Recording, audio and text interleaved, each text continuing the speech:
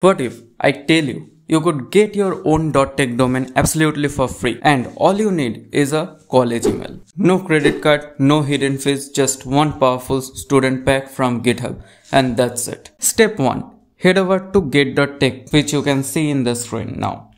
Now just search for your preferred domain. As of now I am writing obhigbhanja.tech. That is for me. You can write anything you want.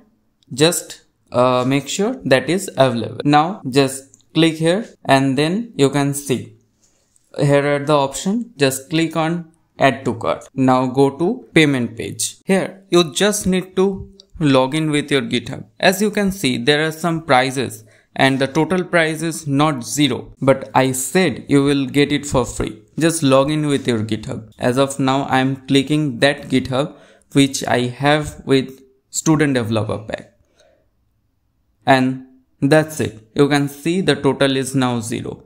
Now just after that you just need to create an account or maybe login if you have already.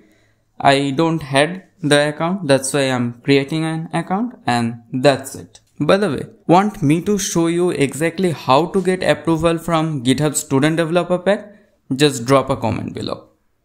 If this video helped smash the like button hit subscribe and share with your college group